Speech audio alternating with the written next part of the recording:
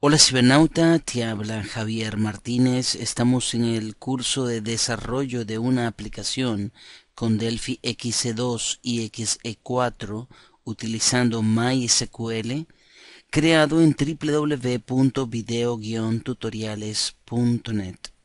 Bien, cibernauta, entonces en el video pasado estábamos trabajando en eh, lo que era nuestro validador. Recuérdate que en el formulario de clientes cuando lo ejecutamos, acá lo podemos ver, te puedes dar cuenta acá que hicimos las eh, modificaciones respectivas para que cuando elimináramos, por ejemplo, un campo cualquiera y quisiéramos guardar, nos diera el mensaje que está en nuestro componente. Ingrese este campo, razón social, clientes. Pero en este caso si nos mm, almacenaba el nombre de la persona, registro modificado con éxito. Y acá, por ejemplo, en el caso de Merly, no perdía los datos. Es decir, si le damos a modificar y quitamos a Merly, le damos guardar, ve que los campos se mantienen no me dice modificar y el foco se queda allí en la razón social. Entonces vamos a colocar a Merly. Eso fue lo que hicimos. Registro modificado con éxito. Y ahora estamos reorganizando lo que es la parte de aquí del validador que es nuestro componente personalizado para este tipo de campos vacíos. Muy bien, lo reorganizamos para lo que tiene que ver con el eh, post en caso de que sea insert y también para el post en caso de que sea mm, modificar. En ambos casos se utiliza el ds dataset post. Ahora, te recordarás que habíamos dicho que cuando ingresábamos un registro Acá el último registro que ingresamos fue Tatiana. Vamos a ingresar ahora un nuevo registro. Por ejemplo, Alberto.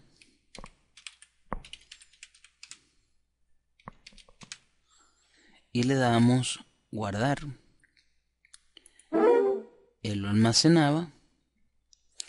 Pero cuando íbamos a incluir otro, por ejemplo, rosa. Y le damos guardar. Entonces me daba un error de no se pudo guardar el registro. Ya habíamos dicho que esto era un problema de MySQL como tal. Vamos a ver si nos dejó acá a Alberto. Perfecto. Y por ello es que estábamos revisando acá lo que era el Information Schema, la base de datos Information Schema desde el MySQL Front. Y veíamos acá que en el Table Name dentro de toda la cantidad de tablas estamos ubicando tables y dentro de table names está precisamente clientes.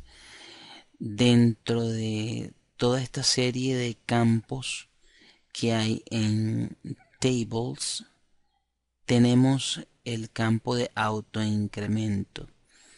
Aquí en este momento nos dice que tenemos seis registros, pero tenemos que refrescar. Vamos a ver aquí. A ver, actualizar. Vamos a ubicar acá la parte que corresponde a la tabla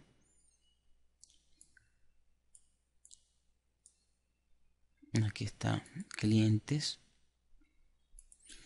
Y ahora sí sale 7 ¿eh? entonces se ha debido refrescar también el campo. Este es table-rows. Esta es cuántas ah, filas o cuántos registros tiene la tabla. En este caso tiene 7 registros. Y por acá tenemos el auto increment que debería estar en 8 exactamente. Entonces este es el número que necesitamos capturar, Cybernaut. Este número 8 que ves aquí. Entonces, ¿cuál es la codificación que necesitamos realizar de este Delphi para poder recuperar un registro que está en una tabla de MySQL de nombre Information Schema y un campo de nombre Auto Increment. Bueno, eso lo vamos a ver en los videos 30, que es este actual, y el número 31. Para que nos siga dando el error de no poder incluir dos registros consecutivamente.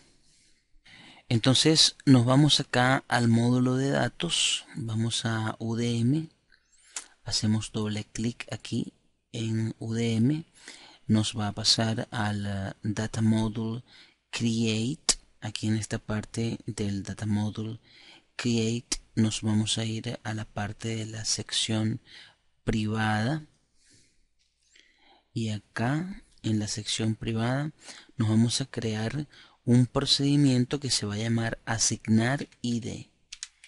Procedure asignar ID.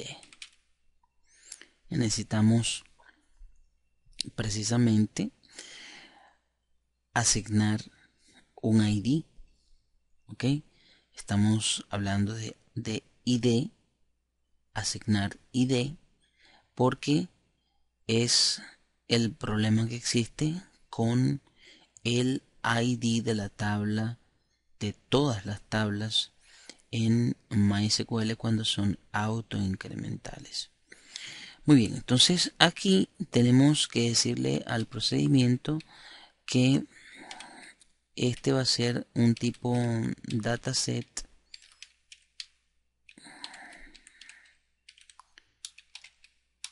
dos puntos tipo de dataset. Entonces, control shift C. Y aquí tenemos a TDM asignar ID, como lo quieras llamar. Entonces, aquí ya comenzamos con la programación y en primer lugar lo que vamos es a recuperar del dataset lo que vamos a hacer aquí del dataset en su propiedad fields. Aquí está fields la propiedad fields. Aquí le colocamos corchete corchete para recuperar el índice 0 que es el id precisamente. Y el valor value. Aquí lo tengo por los momentos voy a colocarle aquí 0 porque necesito también además de asignar id necesito otro de recuperar id pero este sí va a ser una función ok entonces nos vamos aquí abajo y colocamos function recuperar id entonces esta es una función necesita devolver un valor. Acá yo voy a pasar que el parámetro que voy a recuperar va a ser una tabla ok pero va a ser de tipo string. Y a su vez voy a devolver un tipo de datos entero. Tengo que devolver un tipo de datos entero obviamente porque es lo que me pide el MySQL. El ID es entero y es autoincremental. Entonces mira a ver lo que vamos a hacer aquí donde estaba el 0 bueno antes vamos a darle aquí a control shift C para crearnos el recuperar ID mira ve aquí en el data fields value voy a quitar el 0 y voy a sustituirlo por recuperar ID recuperar ID y le voy a pasar una tabla que es string entonces aquí lo que voy a hacer es lo siguiente cibernauta ¿ve? aquí voy a tomar del módulo de datos mira ve en el diseño yo tengo aquí CDS clientes verdad entonces yo necesito que como mi tabla se llama clientes. Es más cada vez que vaya a hacer un módulo de datos nuevo tengo que colocarle el mismo nombre de la tabla ¿sí? para que este código pueda servir para todas las demás tablas. Cuando vayamos a crear el módulo de datos de proveedores por ejemplo vamos a tener que llamar a el client dataset CDS proveedores vamos a tomarlo de aquí entonces. Nos vamos a la parte del código y aquí en recuperar ID lo que voy a hacer es lo siguiente. Copy así copy y le voy a pasar a dataset dataset punto name acá y a partir del número 4 me faltó aquí un paréntesis. A partir del número 4 entonces a partir del carácter número 4 que me recupere el nombre. Y eso es lo que me va a recuperar en el eh, tipo de dato que es el tipo de dato tabla ¿sí? tipo de dato tabla que sería mm, clientes y va a retornar un integer. Muy bien. Entonces aquí ya tenemos el asignar id ahora en recuperar id vamos a hacer lo siguiente nos creamos acá una variable. Una variable que vamos a, llamar SQL query de tipo TSQL query. Ok allí tenemos entonces nuestra variable. Entonces en el begin colocamos SQL query la variable. Y la inicializamos con el tsql query pero punto create. Ok entonces aquí dentro de el create voy a colocar a ella misma self. Entonces ya tenemos allí ese paso dado. Vamos ahora a inicializar la conexión. SQL query punto. Recuérdate que para la conexión es SQL connection ok. Y después del SQL connection tenemos que darle dos puntos igual el nombre de nuestra conexión que aquí se llama SQL con SQL con eh, con con una a ver sí nos falta es el punto y coma déjame ver ya un momentico en el diseño tengo doble N. Eso fue lo que pasó. SQL con. Ahora sí. Bueno, entonces estarás preguntando, ¿cómo hacemos entonces para recuperar con una sentencia select el campo auto increment? Bueno, vamos a hacer lo siguiente. SQL query punto, ahora sí viene el SQL, la propiedad SQL, luego después de SQL tenemos que utilizar la propiedad add, es decir, la función add. ¿Qué vamos a colocar aquí?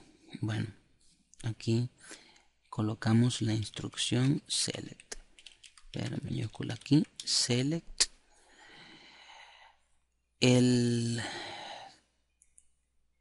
campo que vamos a ubicar acá el campo habíamos dicho que se llama auto bajo increment. Entonces select auto bajo increment. Ok from de dónde viene bueno, viene de information-esquema. ¿Sí? Information-esquema. Punto table. ¿Ok? Punto table. A ver. Déjame ver si así que se llama tables. Pues tengo que decirle information esquema y a ver tables con S. Tables. Si no, no funciona Cibernauta. Ok.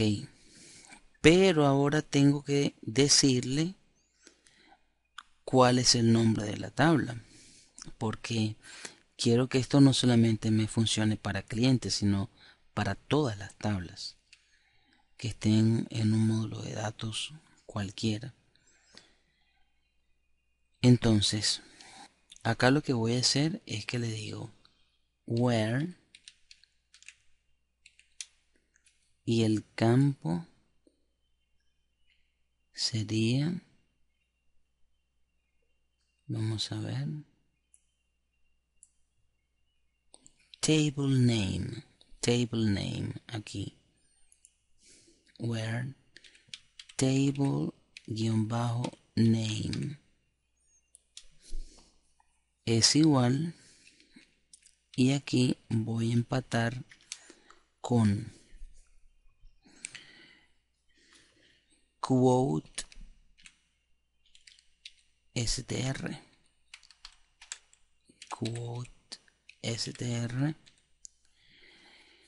y en el code str voy a pasarle el nombre de la tabla. A esta función le paso el nombre de la tabla. Aquí en este caso sería a ver table en recuperar id aquí mira este de aquí. Table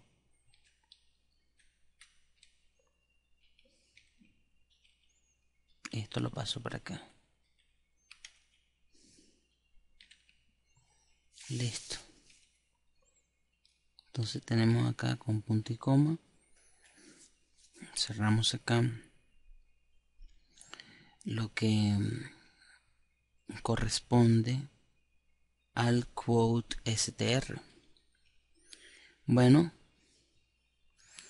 aquí ahora lo que nos queda es mm, utilizar aquí en, el, en la parte de crear aquí colocar un ciclo un ciclo for que vaya recorriendo los componentes y a la vez me pueda utilizar en una comparación que voy a hacer acá me pueda asignar el ID antes de que haga el post.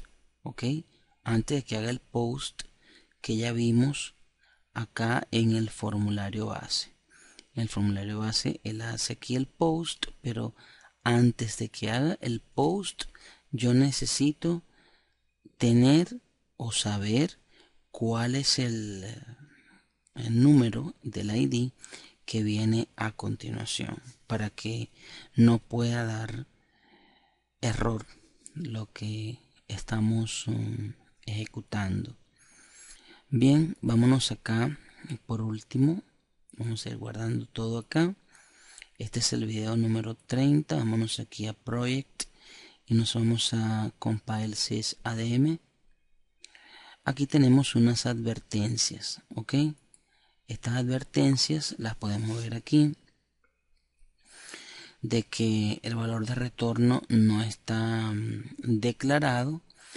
Aquí tenemos que retornar porque recuérdate que esta es una función y no la tenemos completa entonces tenemos que retornar y lo vamos a hacer por medio del result. Entonces nos veremos en el video número 31 para culminar lo que corresponde acá a nuestro registro de clientes y que pueda incluir más de un cliente a la vez, corrigiendo a su vez la particularidad que tiene MySQL en este caso con los campos autoincrementales.